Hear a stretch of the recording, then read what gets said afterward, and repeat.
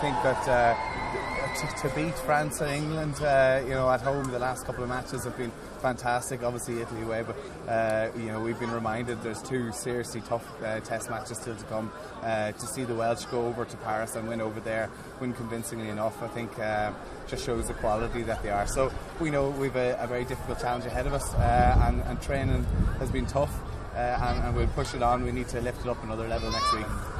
Uh, we all know that you know winning three games we're, we're um, we, we're building the momentum that you need but you know with the, the strength of the team still to play against uh, and, certainly the Welsh next weekend um, you know it's, it's a place that you don't want to be getting too carried away